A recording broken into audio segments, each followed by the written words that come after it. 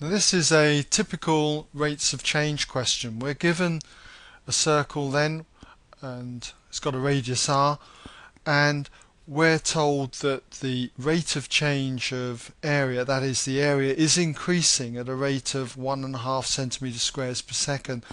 So what I'd write down here is that given that the rate of change of area A, okay, it's always with respect to time if it's just a rate of change, is going to be one and a half centimeters squares every second.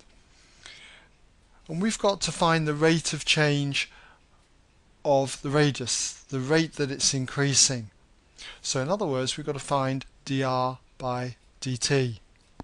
Now whenever I get a rate of change and I need to connect it to other rates of change, I use the chain rule. I write whatever I've got on the top here, on the top, I multiply it by whatever I've got on the bottom down here.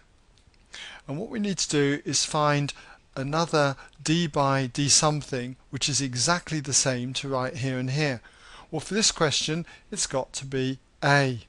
So put dA there and dA here.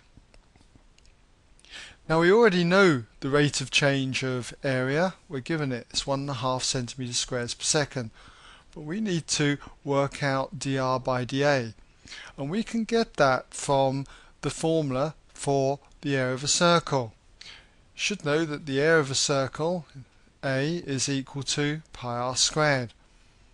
So from this we can differentiate this. We can therefore have that dA by dr is going to be equal to 2 pi r.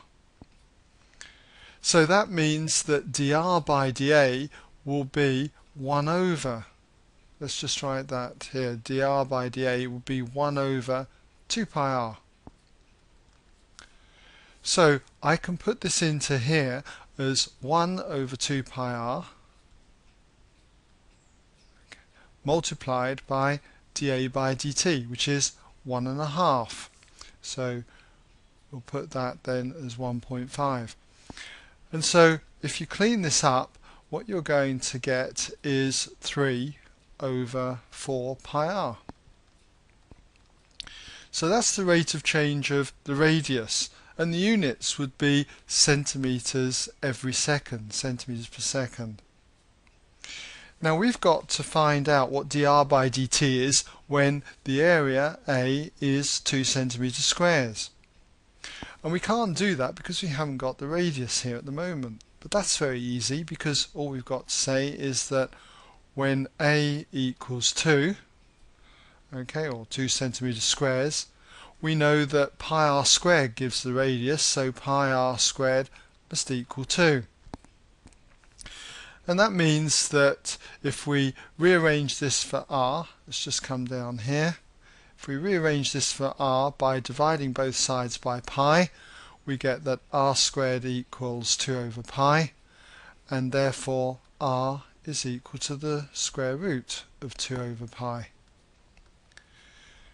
So if you work that out on a calculator, what it comes to is 0.79788 and so on centimeters.